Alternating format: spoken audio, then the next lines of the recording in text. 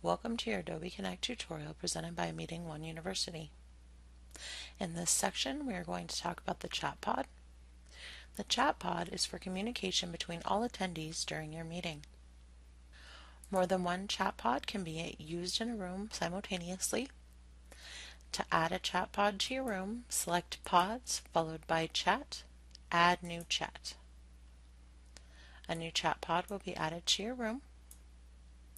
Chat pods can be used to display chat to everyone or only presenters if it's in the presenter only area.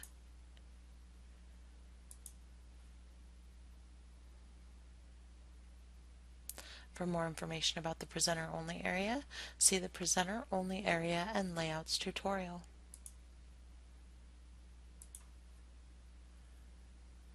To start a chat, select the text box at the bottom of the chat pod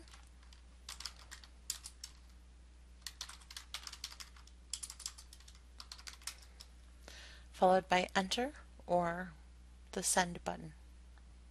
To save your chat, select the Pod Options menu, followed by Email Chat History. Chat pod content is persistent and remains in a meeting room until it's deleted.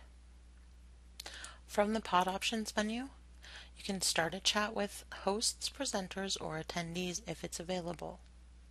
Attendees can start a private chat with another attendee unless you disable that option in Preferences.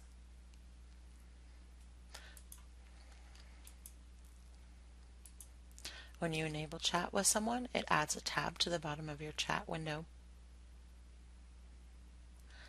To clear the chat, select your Pod Options menu, followed by Clear Chat. There is no warning and this is permanent. Chat cannot be recovered. From the Pod Options menu, you can also change the text size. That only changes the text size in your window.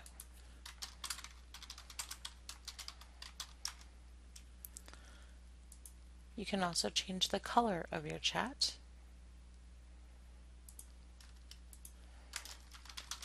If you change the color of your chat, everyone can see it. You can choose to show timestamps, reverse the order of messages, and choose to toggle chat sounds.